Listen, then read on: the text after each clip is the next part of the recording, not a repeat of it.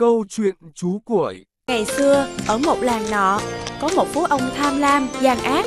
Lão luôn nghĩ ra mọi cách để bòn vét tiền của cải người dân. Người người trong vùng đều oán giận. Chà, mát quá Ngồi đây tỉnh cả người Chào ơi, bao nhiêu là vịt trời Chỗ này có khi phải đến hàng trăm con vịt Mà có khi cũng phải hơn cả hàng trăm con vịt nữa Hai, bốn, sáu, tám, mười hai, mười tám lũ vịt này không chịu đứng yên cho ta đếm gì cả Thôi, mặc kệ chúng bay Đúng là cái đầu vịt trời Thằng kia, thấy ngựa phú ông sao không tránh Bẩm phú ông, tôi đang chăn vịt Nên tôi không biết ngựa phú ông đi đến Phú ông Lan nhìn ra hồ thấy đàn vịt nhiều vô kể. Ngốt mắt quá, lòng tham lại nổi lên. Phú ông liền nhận đó là hồ nhà mình. Thằng này dám đem vịt đến ăn hết cá hồ nhà phú ông. Phú ông bắt vả mày. Bẩm phú ông, tôi nuôi vịt để dành tiền lấy vợ. Lấy vợ hả? Được rồi. Lẽ ra ta phạt ngươi 10 đồng bạc. Nhưng thôi, nếu tình ngươi nuôi dành tiền lấy vợ, ta mua lại với giá 2 đồng. Ngươi xuống dồn vịt lên bán cho ta. Không được đâu, hai đồng tôi chưa đủ tiền lấy vợ. Ngươi không cầm tiền, ta sẽ cho lính xuống bắt hết vịt. Dám thả vịt ăn trộm cá hồ nhà phú ông. Thôi thì tôi bán cho phú ông, nhưng đàn vịt đang ăn, phải để đến chiều tối phú ông hãy cho người dồn về chuồng. Chú đuổi bây giờ, vịt bơi tản đi mất. Được rồi, ngươi nghĩ ta không biết những điều đó sao? Giờ đàn vịt là của ta, ngươi hãy đi đi. Các ngươi, tất cả số vịt này là của ta. Các ngươi hãy lùa hết về nhà, không được phép để con nào tản đi. Rõ thưa ông. Trời ơi, cái gì thế này? Vịt hay là chim đây? Ông ơi, đó là những con vịt trời mà ông. Vậy là Phú ông đã bị cụi chơi khăm một lần. Cụi khiến Phú ông bỏ tiền ra chỉ mua những con vịt trời. Ông ta tức giận lắm. Ông quyết định sẽ khiến cụi phải trả giá đắt, sẽ trừng trị cụi một trận nên thân. Một hôm, cụi đi lơ ngơ thế nào lại bị lão Phú ông nọ nhận được mặt cái thằng bán vịt trời. Lão cho lính trói gô cụi lại. Phú ông sai làm một cái rọ, xếp đá tảng, rồi bỏ cụi vào lôi ra bờ sông để đẩy cụi xuống sông. Dây dưa vào lão phú ông tàn bạo này thì anh ta chết chắc rồi. Anh ta cũng to gan được, dám lừa cả phú ông. Ôi dào, cứ phải thế, lão ta mới chừa cái tội tham lam của mình. Anh nói nhỏ chứ, phú ông mà nghe thấy thì tai họa đấy.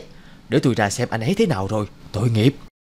Này anh Cụi ơi, sao anh lại dại thế? Anh ờ, có muốn nói gì với bà con bản mường trước lúc chết không? Bà con ta ở bản mường quên rồi sao? Ngày trước các cụ đã nói, hòn đá thì nổi, quả bưởi thì chìm. Rọ đá này ném xuống sông, tôi càng được đi tắt nhanh về đến nhà. Nói khẽ chứ, chả có phú ông nghe tiếng mà bỏ bưởi vào thì tôi chết đấy. Trò đời, càng nói khẽ thì tiếng càng loan to. Ngay lúc ấy, Phú ông Lan đã nghe biết chuyện, bỏ đá thì nổi, bỏ bưởi thì chìm. Phú ông lấy làm mừng thầm về những điều của nói rất kịp thời để Phú ông thay đổi. Thằng ranh này gớm thật, sắp chết lại còn định lừa cả phú ông. May mà ta kịp nghe, không thì đã cho nó đường sống rồi. Lính đâu, ngay lập tức đang ngay cho ta một cái giỏ lớn hơn và bỏ thật nhiều bưởi vào đó, nhét thằng nhảy ranh vào đó cho ta. Rõ thưa ông. Trời ơi, có ai không? Cứu tôi với, nhiều bưởi thế này tôi chết mất. Quẳng nó xuống sông cho ta. Tội nghiệp quá, thế là hết đời. Chìm nghiễm luôn kìa, tất cả những ai dám giỡn mặt với ta đều sẽ có kết cục thế này. Chúng bay ơi, nhìn kìa, một cái giỏ toàn bưởi là bưởi kìa. Chúng bay ơi, cha kéo ta vào, ta cho ta hồ ăn. Lũ trẻ bơi ra kéo rọ bưởi vào bờ. Cụi cho mỗi đứa một quả, còn bao nhiêu? Cụi cổng cả rọ vào một viên lan cun gần đấy. Phú ông tôi ở mường trên, đường thiếu trâu cày. Giờ lại vào mùa vụ, Phú ông cho tôi đem xuống biếu ông rọ bưởi quý. Mượn ông con trâu vài hôm. Phú ông là to nhất vùng, làng đá này chỉ là lan mường, làng bản. Nghe nói được bưởi phú ông biếu đã mừng rồi. Làng đá liền tắm trâu sạch sẽ, đen mượt rồi cho củi sắm trâu về. Củi thảnh thơi cưỡi trâu về qua nhà phú ông. Phú ông trông thấy củi ngồi trên lưng con trâu béo tốt qua cổng, lấy làm ngạc nhiên lắm. Tên kia, người vẫn chưa chết hay sao? Ở đâu ra mà người có con trâu béo tốt thế? Bẩm phú ông, cái rọ bưởi phú ông ném tôi xuống sông lại chìm ngay trước cổng dinh vua thủy. Vua thủy hỏi tôi mang bữa đi đâu, tôi không dám nói tôi bị tội trôi sông. Mạn phép phú ông tôi nói là phú ông sai tôi đem bưởi xuống tiếng vua. Rồi sao? Nói nhanh lên. Dưới nước không có bưởi, vua thủy tề ăn khen ngon lắm, rồi cho tôi cưỡi con trâu này về biếu phú ông. Lại nói dưới ấy đương xây cung điện, thiếu đá ung vôi, xin phú ông cho đem đá xuống. Dưới ấy cứ một rọ đá thì đổi được một con trâu hoặc một hạt ngọc trai. Thật vậy sao? Được, vậy thì đích thân ta sẽ bàn đá xuống. Phú ông lại sai làm một cái rọ rõ to Phú ông vẫn tin là hòn đá thì nổi Bay đâu? Mau ném ta xuống nước để ta đi gặp vua thủy tề. Sao lạ vậy nhỉ? Sao hắn ta lại tự hại mình? Có lẽ nào hắn ta tàn ác quá nên giờ bị trời phạt quẩn trí rồi. Chuyện những chiếc bánh nướng hạt dẻ. Các con đi sớm về sớm Chớ có la cà đi đâu nhé. Nhặt được nhiều hạt dẻ Về nhà mẹ sẽ làm bánh nướng cho các con ăn. Ôi, bánh nướng hạt dẻ mẹ làm ngon tuyệt Vừa bùi lại vừa thơm nữa. Vậy thì đi thôi nào Đừng có lười biếng đứng đấy nữa. Mẹ ơi, chúng con vào rừng đây ạ. À.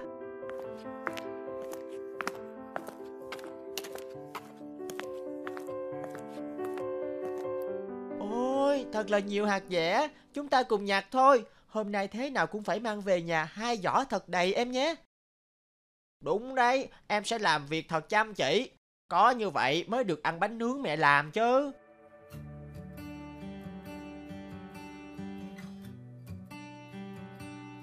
Thôi, giỏ hạt dẻ cũng đầy rồi, chúng ta về thôi sóc béo. Vâng, chúng ta về thôi anh.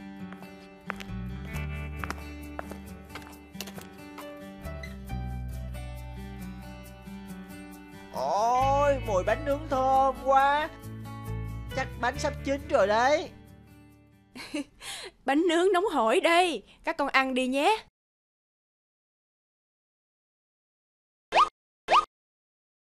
Sao con chỉ được có bốn cái bánh Trong khi anh sóc gầy được sáu cái? Thôi ăn đi. Em mà đói thì anh lại cho thêm cái nữa. Vậy là được chứ gì Con cũng làm việc chăm chỉ giống như anh. Tại sao con lại được ít bánh hơn? Mẹ Con cũng muốn được ăn sáu cái bánh cơ. Như vậy mới công bằng chứ. Con có chắc là mình có thể ăn hết 6 chiếc bánh nướng này chứ? Có thể chứ ạ. Chắc chắn con cũng muốn được sáu chiếc. Đây Của con đây. Nhớ ăn hết đấy nhé. Bánh nướng hạt dẻ ngon quá đi mất Vừa thơm vừa bùi. Mẹ thấy chưa? Con đã ăn được cả sáu cái bánh đấy. Vậy à? Con giỏi quá. Mẹ ơi! Vậy từ nay trở đi Sáng nào con cũng muốn được ăn 6 chiếc như anh sóc gầy nhé.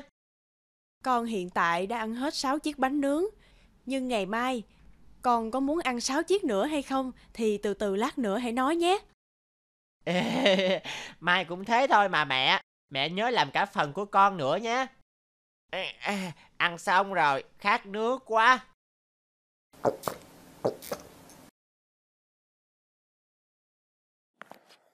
Nè Mẹ sai em đi quét sân đó Còn anh thì lau cửa kính. Ờ, Em Lát nữa em làm nhé. Giờ không hiểu sao bụng em cứ ấm ách khó chịu quá Không thể đứng lên khỏi ghế được. Bụng của em làm sao thế? Đau lắm à? À, Em cũng không biết nữa. Từ lúc ăn bánh với uống nước xong Em thấy khó chịu và tức thở lắm. Mẹ ơi Mẹ lại xem. Em sốc béo bị làm sao đây này? Để mẹ đưa con lên giường nằm Và lấy thuốc cho con nhé. Con đã thấy dễ chịu hơn chút nào chưa? Con thấy đỡ hơn nhiều rồi ạ. Mà mẹ ơi Bụng con bị làm sao mà khó chịu đến thế Chỉ là con bị trướng bụng khó tiêu thôi. Thường ngày con đều ăn 4 chiếc bánh. Hôm nay con ăn đến 6 chiếc liền Nhiều hơn 2 chiếc. Nếu con chỉ ăn vừa đủ thôi Thì sẽ không bị như vậy đâu. Ờ, Lúc đó con cứ tưởng là mình sẽ ăn được hết cả 6 chiếc cơ Ai về à? Các con nên nhớ rằng Trên đời nhiều thứ có được rồi Nhưng không nhất định là nó sẽ đem lại sự sung sướng và vui vẻ nhiều khi không cần dùng ánh mắt để nhìn chằm chằm vào người khác không cần so sánh với người khác, không tham lam thì tự nhiên ta sẽ được vui vẻ. Giống như việc nếu sóc béo không tham lam, so bì với anh, đòi bằng được 6 cái bánh, mà con vẫn ăn như mọi khi, vừa vặn với sức của mình, thì có phải đã không phải chịu đựng sự khó chịu vừa nãy không? Mẹ ơi, con hiểu rồi ạ. Từ nay con sẽ không tham lam như vậy nữa đâu. Chuyện ở cửa tiệm vải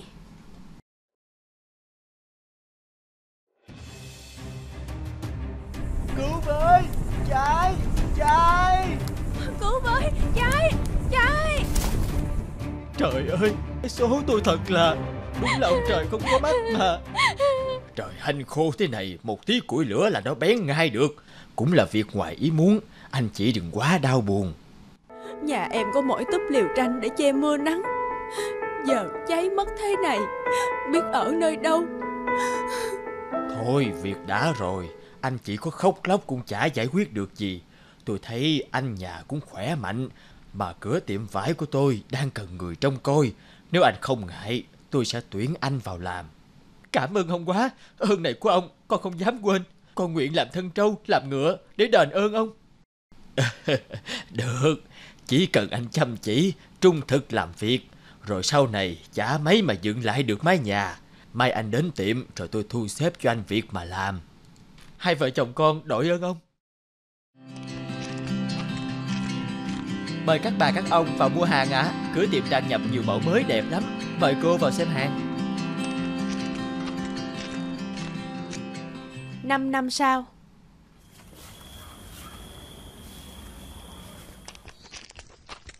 Sao đã khuya rồi mà ông còn chưa đi ngủ? Lạ quá. Suốt mấy tuần nay tôi không phát hiện ra điều gì lạ. Ấy vậy mà đến cuối tháng này công dồn lại thì số hàng bán ra lại không khớp với số hàng nhập vào. Vậy thì còn kêu lạ cái gì nữa? Thế này á, thì chắc chắn là đã có đứa ăn cắp hàng Mà ăn cắp rất khéo nữa là khác. Nhưng ăn cắp bằng cách nào? Mà cũng biết tôi quản lý người làm rất chặt rồi cơ mà Ờ bằng cách nào á, thì tôi chưa rõ.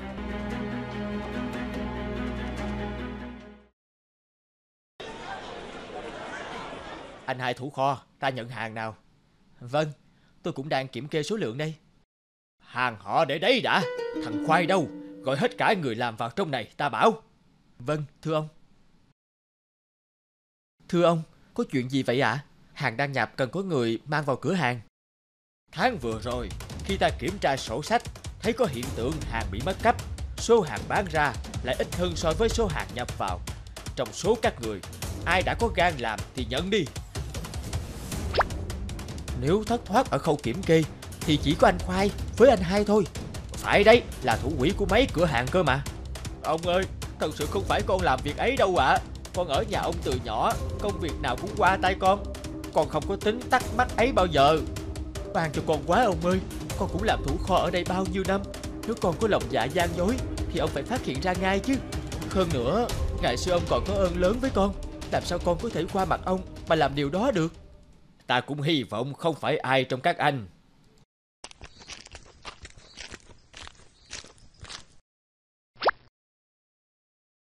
Thôi, còn ít sổ sách. Anh làm nốt cho tôi nhé. Tôi về không muộn. Con chào ông, con về. Ừ anh về nhanh đi trời sắp nổi cơn giông to rồi đấy. Ôi, ôi, ôi, ôi, ôi. thôi tôi về nhé. Trời tối đến nơi rồi mà nó cứ khư khư đổi cái nón. Lạ quá. Anh hai đứng lại đã. Cho tôi mượn cái nón trên đầu anh. Ờ, ông ông mượn nón của con làm gì kia ạ? À? nó đã rách lắm rồi. Thì anh cứ đưa cho ta xem có gì mà phải giấu giếm thế? Ôi, ôi, ôi tấm vải này ở cửa hàng kia mà. Sao anh lại mang về nhà làm gì? Ra là anh. Bẩm ông, con trót dại xin ông nể tình con đã làm trâu làm ngựa cho ông từ lâu, mà tha cho con. Không thể tha được. Thế hóa ra xưa nay, thỉnh thoảng anh lại thẩm thục một tấm vải thế này. Bảo sao sổ sách số liệu vẫn khớp mà không thể phát hiện ra được. Lập tức trói nó lại, đem lên cho quan huyện. Con ăn cắp, nhưng một tấm vải này thì có là gì đâu, so với cả cơ ngơi của ông ăn cắp một thứ nhỏ như vậy, có đáng tội lớn như vậy không? Ông có thể đánh con, đuổi con đi, nhưng không thể trói con rồi đem lên quan huyện được. Anh nói một tấm vải không đáng là bao ư. Một ngày một tấm vải, Nghìn ngày nghìn tấm vải. Anh trót lỡ một lần Thì sẽ có nghìn lần như thế. Hỏi tôi đã bị thiệt hại bao nhiêu? Thùng cưa gỗ đứt, Nước chảy đa mòn.